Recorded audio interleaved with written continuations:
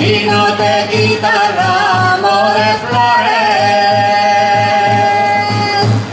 Porque si no te quita el ramo de flores.